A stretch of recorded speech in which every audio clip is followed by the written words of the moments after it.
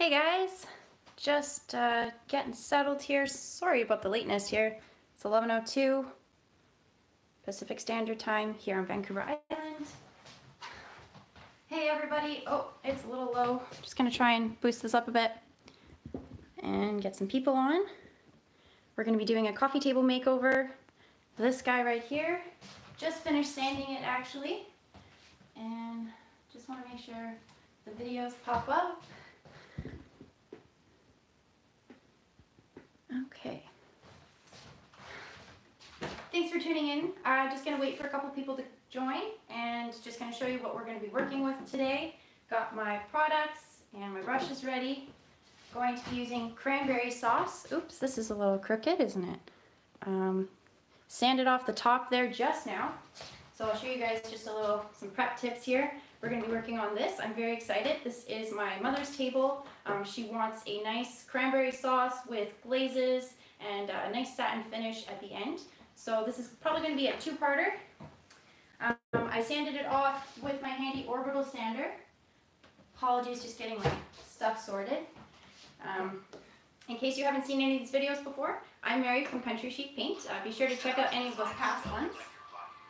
Sorry about that, volume was on. Um, subscribe to our channel if you want to see more updates. And uh, let's just get started with this video too. Um, it's been sanded. I've got my cranberry sauce and I've got my vinegar and I'm going to be just giving it uh, a little quick clean over because I did vacuum out all of the sand but it might still have some remnants left over. So I've got my cloth, water, and all you need is just a dollop of vinegar. This is just a really nice natural way of cleaning a piece. Um, on our prep guide, just step one, clean the piece. You don't know where, especially if it's a thrift find, if it's a used piece of furniture, you want to make sure it's nice and clean. There might be some cobwebs underneath. Be sure to vacuum those out. Um, so just the mild solution. Dust this all off here. And I did sand right into the crevices because I want to do a red base and a stained top and we can use the Country Chic Paint glazes to do that. Works like a charm. And sanded off all of my spindles too. I wanted to make sure that I had a nice clean start. Um, it had a little bit of a light stain on it that came off really easily with a 180 grit paper. I used my DeWalt Orbital Sander. These guys are about 60 to 80 bucks at a hardware store. Definitely handy if you're doing multiple pieces. Um, if if you're doing like a whole bedroom set, highly recommend if you have to sand anything. Um, if you're just tuning in, let me know where you're coming from. I always love to hear and see where everyone's watching from. Let me know if you've seen any of the videos before. And if you've ever used uh, cranberry sauce. This is a really nice berry red. Um, we've got a couple others that I can show you to compare. Oh, we got Birgit. Hey, how are you? Um, where's my Paint the Town? So just a comparison, because we do have two similar reds. I would say this one is more of a Christmassy barn red. So this is called Paint the Town. It's a, it's a very, very pretty red. Um, and then we've also got cranberry sauce, which is what I'm going to use. Now this one has a bit of a pink tone to it. It's a tad different from what, I don't know if you can see from the difference there. A color card is always really handy to have if you're not too sure. Ooh, let's keep it paint free on the top. So I did the quick wipe down. Um, you might recognize this piece. Um, it's a similar, it's very popular. Uh, it's called a Phyfe with a P. So it's got a it's got a fancy name to it. It's from a old American um, furnishing company that is probably no longer in business, unfortunately. Um, but they made some beautiful European stuff, and we're going to dress it up today. So, uh, just gonna start off now that I've sanded. I want to put on a couple light coats of Country Chic Paints cranberry sauce. This keeps falling down on me. And I'll come in a little closer so you guys...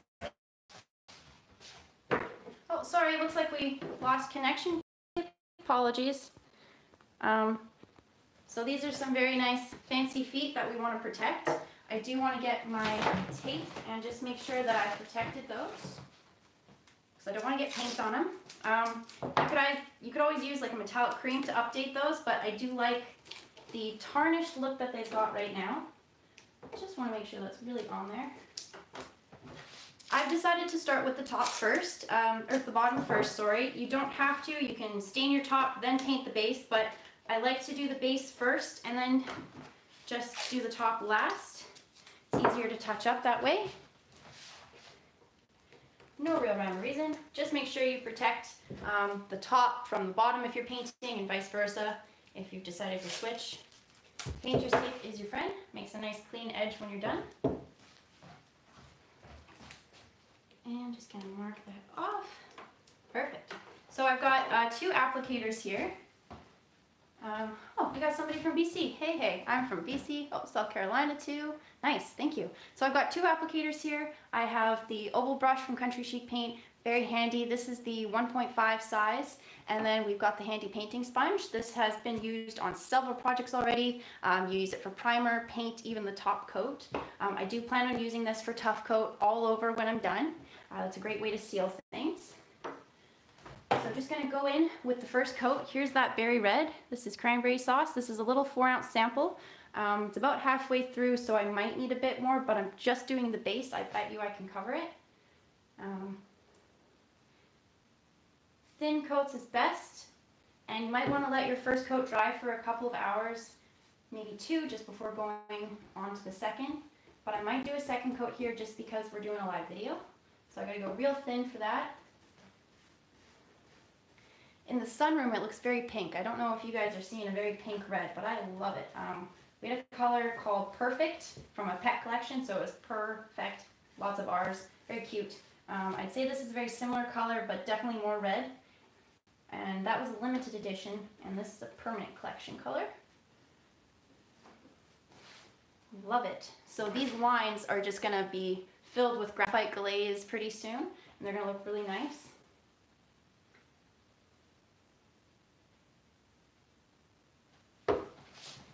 And I did lightly sand all over. Um, I couldn't use the orbital sander on these details, of course. I would wreck them. Um, if you have one of those very fancy tiny ones, that works if it's powered. Um, or just good old sandpaper does the trick, which is what I used for this one. Uh, doesn't quite get all the grooves, but that's okay. You could use a paint stripper if you really wanted to make sure all of that varnish was gone, um, especially if you're wanting to do a bleach look.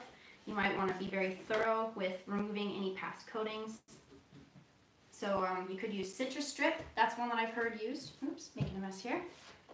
It's very, it's rather eco-friendly, probably one of the safer ones. Um, but we recommend sandpaper just for basic refinishing. Has anybody worked on a piece similar? Um, anybody wanting a red coffee table in their house? Curious how common these are. I did two nightstands in this exact same method that I'll be doing. Um, my mom loved it so much she wanted to see something like that in her house. So I'm just redoing what I did before for somebody. Red sells really well here on the island. Um, a lot of eclectic purchasers. Anybody else like a good red? Let me know. Rosie from Manitoba, thanks for tuning in. Oh, uh, looks like I didn't turn the notifications off, sorry. Okay.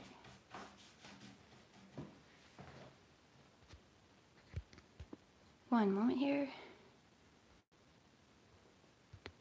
Okay. Um, I think I will save the spindles for my painting sponge, um, but I'm going to do the legs on the other side. And then I think we have time to do the basic staining of the top with some glazes. I want to show you just the regular application for glaze over top.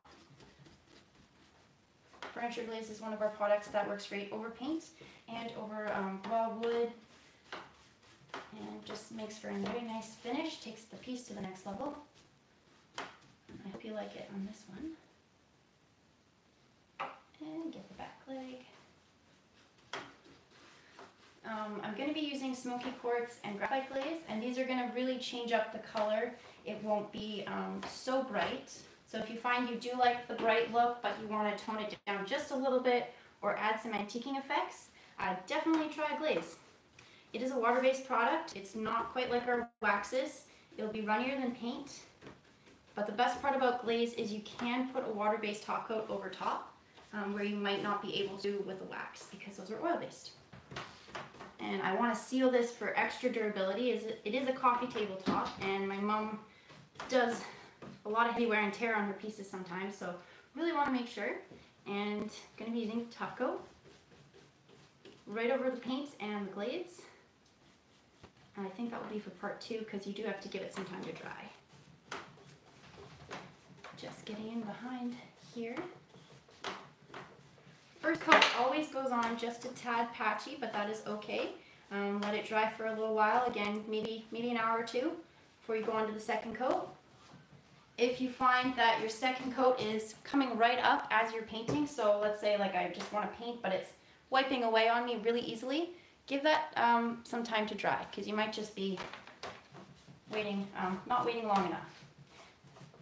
It's very warm in my house right now when I'm painting from, so paint will dry a lot quicker in a warm spot above room temperature. Um, if you're painting in a cold space or it's winter and you're in your garage, be prepared to wait just a little bit longer for your paint layers to dry. But uh, it's May right now, not experiencing that problem. Hopefully nobody else is too, really. Hope we got some spraying everywhere.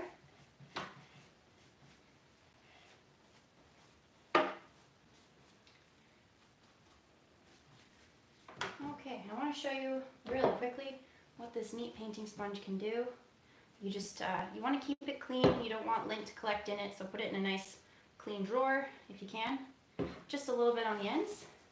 If you are doing um, a project. This will be thinner coats, of course, so it won't quite look like the brush strokes. If you're doing like a railing, um, stair, stair railings, highly suggest this. Um, if you have a whole kitchen table set of chairs to do, grab yourself um, a sponge. it's, it, it's easy, it keeps it from collecting in the crevices. You don't lose those nice pretty details. You might find that you have to do one extra coat, but you know what? It adheres so well and so quickly it should be just fine.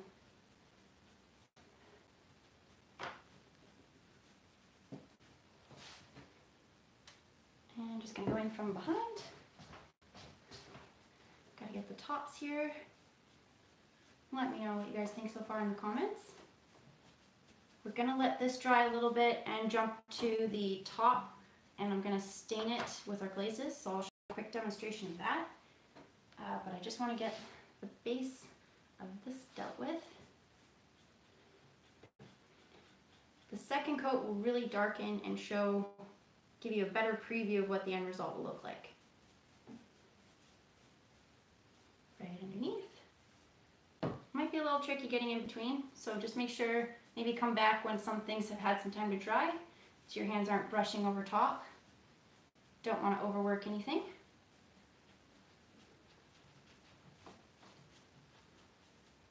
And don't forget the bottoms. Just in case we flip the table over, I'll get those when that's dry.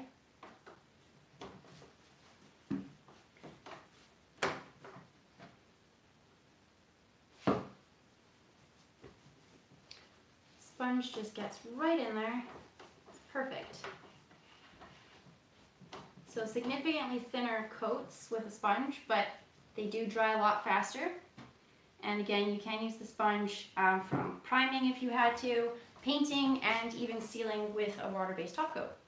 So very handy, kind of a one uh, multi-use thing. And if you're going for an ombre effect, definitely try the sponge, because that makes it a lot easier sometimes than a brush. Okay, so really quickly tackled that. It is. It's kind of like a raspberry, yeah. Um, redoing your office in cranberry. Oh, every piece? That's really cool. All right. So I think I'm gonna prop it up. You can see the top and get a little closer so you can just see what's gonna be happening with that. So um, those patches is just water, not to worry didn't do a bad job sanding. um, started out with the orbital doing 80 grit because this was very thick. Um, I should probably wash my hands before doing the sanding. Um, it was very thick and I think there was quite a few coats of it on there. So I started off with the 80 and then went to 180 to smooth it out. You don't want to use too coarse of a grit, otherwise it will scratch up your finish and when you paint over, you might see those scratches, especially if you find you see the swirl look from a sander. Just be careful with that. Um, always keep it clean, dust it off. So with glaze, what you're gonna want is a dish of water. You're gonna want a brush, which I'm just looking for a second one here. And I think I'm gonna start off with smoky quartz. That's the nice neutral brown. Um, to relate it to our waxes, it's similar to antiquing graphite. Um, this is a nice brand new one. I can't wait to jump in. Um, it has been sitting for a while, so I just gotta make sure I shake them. Graphite is the darker one. It's just gonna settle over top really nicely. Oh, cherry blossom. So Mary has ordered cherry blossom. Not sure what you're thinking. Oh yeah, definitely add just a bit. I think I remember you talking about that, Mary. Um, thanks for watching, by the way. Um, yeah, if you if you find you want to darken up the tone, like let's say this is too pink for you, maybe add a little bit of licorice to it. Uh, that's our black. That will darken it up a bit. Um, you can even get creative if you have another dark neutral, uh, say like dark roast even, might warm it up a bit. Um, definitely, a lot of things you can try to tweak the color. Okay, so I kind of want to have a wet brush just to make this go on a little easier. And I'm just going to go across because I want to go with the grain. It'll look a bit more natural. Um, the rustling is my cat. He's found a bag. Apologies. That'll probably go on for a while. you don't have to be crazy exact. It doesn't have to be um, solid and wet all the way through. You can leave a little bit of patches because you are wiping off the excess with a damp cloth. Um, depending on the wood and the project you're working with, if you it glaze works best if you're doing a natural top. Um, if you sand or strip down to the bare wood, it does need a porous surface to really grab onto. So when you wipe it away, you're left with that beautiful, slightly darker wood grain. It just embeds, it looks natural. Um, Thomas, no scratching, thank you. Um, he knows I'm live, that's great. Um, definitely might end up with a slightly different look um, than what you see on Pinterest. Maybe somebody who's working with uh, raw pine. This is a darker wood. I've sanded as much as I could and it's still a little dark. So it might not look quite the same as another uh, stained top that I may have done in the past, but it's still gonna look really, really nice because there is some nice wood grain. And I'm just gonna stop halfway through maybe. No, I'm gonna go all the way really quickly. You want to work in sections, so if you find that it's um, drying up on you on one side, quickly wipe it off. Um, you don't want to end up with that tacked look where the product was overworked as it dried. So you want to work a little quickly for a nice natural finish. You want it to softly wipe away. You don't want to get stuck when you're brushing off. Um, where's that other? You do want a lint-free cloth. So unlike the rag that I was using, um, I'm gonna want one of these. This is just a lint-free uh, dishwasher, or dishwashing cloth. And I've got my cup of water here. No vinegar, don't need that. All right, oh, hey Kathy from Texas. Thanks for tuning in. Sorry I'm not in the shot. I just really wanna make sure you guys see what's all going on here. So that's, it comes off a bit. You're not wasting a lot. A little glaze does go a long way. I just, I want the top to match the bottom. I want to use glazes that have the same tone that I'll be using over top of the piece. So there wasn't really anything wrong with the top, but I want it all to kind of go with my Country Chic Paint products. And glaze just leaves such a nice finish. So it is wet, it will dry a little differently in a moment. Um, we gotta let that sit. If I was to put anything else on top, it might just keep rubbing it off. So I do have some time maybe to touch up some bottom coats of paint.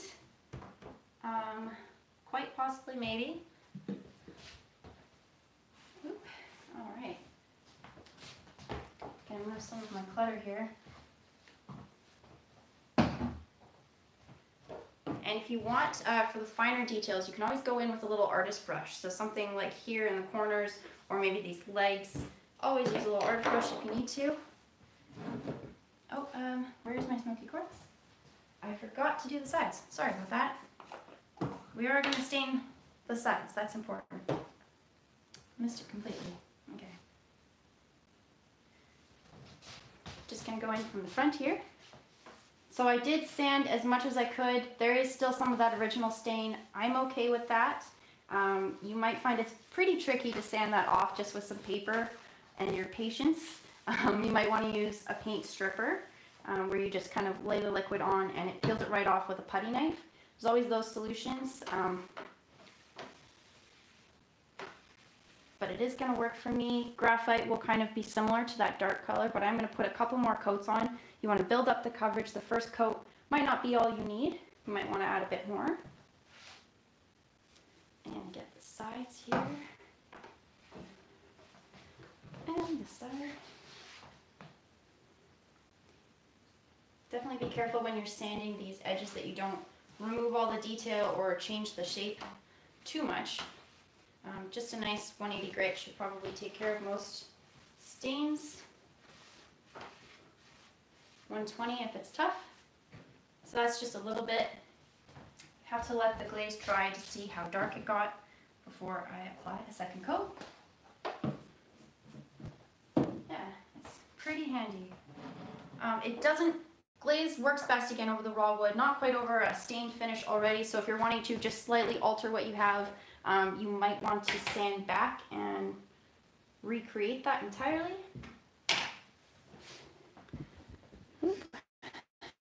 And I do want to share a little shot of the window there, sorry.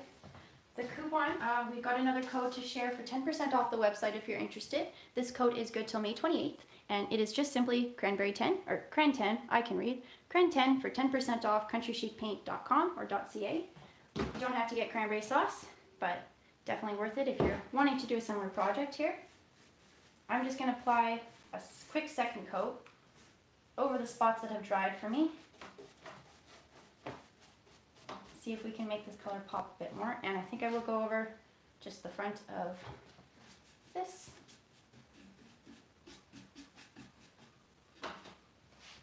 Make sure you subscribe. Um, I would love to see you guys here tomorrow when I do part two of this. It's going to need a second coat, so I'll do that overnight. And then tomorrow we will get to glazing, and then I think next week maybe even tough coat. Um, I've done a couple of tough coating examples over kitchen cabinets if you want to see those, um, especially if you are starting your own kitchen project. We do recommend sealing with tough coat, which is what I'll be using to finish this project off too. Um, it's durable top coat, nice satin finish, which is the look I'm going for for this piece. And if you haven't used it on furniture, this might be a good example. So stay tuned for that. Just gonna get in real quick. It's dried really quickly. It's not even coming up off for me, so which means it must be very warm in here. That's kind of what we're working with. The glaze hasn't quite dried on the top, but maybe you can see nice oak or nice grain that we're going to be working with. Um, it's going to pop beautifully. I did sand as many of the rings I could out, but those might show up again. That's all right. So that is just the uh, part one of our video. This is the beginning of the project. I'll just get right down so you can see. Um, make sure you subscribe and stay tuned for tomorrow when I'm going to be doing part two. Um, we're just going to be using the graphite glaze on the rest of the piece to darken it up. It's going to sit in the crevices and look beautiful. And I'm going to seal with Tough Coat later. All right, so I'm going to sign off. I hope you guys have a great rest of your day. Happy painting. If you have any questions about these products or how to get started on a project, you can always contact Country Chic Paint. Um, we have a website, a chat, and even email, and our Facebook page too. Um, and then don't forget to subscribe. Thanks for watching, and you guys have a great day.